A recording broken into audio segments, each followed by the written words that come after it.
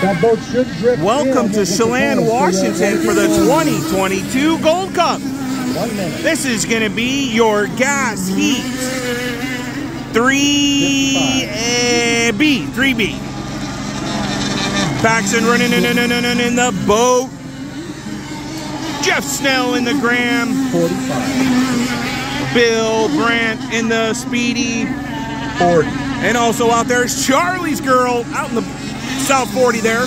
35. 30, coming up on 30 seconds here in the mill. Some beautiful boats coming down the front stretch. The yellow canoe Mike trying to give us the spray. Ooh, I like it. top and hold your ground, please.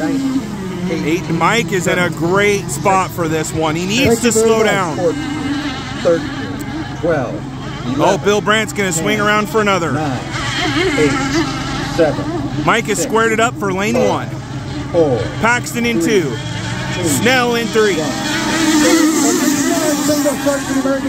American Speedy is on it. Oh. that was close. Going Now we've got Mike, Charlie's girl, the boat. Charlie's girl, the The boat. The boat We are full one tilt. Charlie's girl. Leads them. We've got a great The boat on the pin. Bill Brent on the outside in three. Charlie's girl Going wide is- the second lap. Two laps Here is the race. Two to the boat. These guys are hustling her hard to catch up to Mike. Bill Brandt. Oh, and Bill might have taken in some water there out of the boat. Graham is having a good run. Let's see if Paxton can chase down Mike. Mike is screaming. He got that thing up out of the water. Unbelievable. He holds on to it. He's out wide though. Paxton running the short course here. Mike's on his last lap. What's Paxton got for him? We're going to stick with Mike. Charlie's girl on rails today. Yeah, buddy. Your 400 points. Mike brings her home. And third place is American Speedy. Oh. That boat and a great finish Attaway for the kid got a W against Very some good run for serious heaters out there.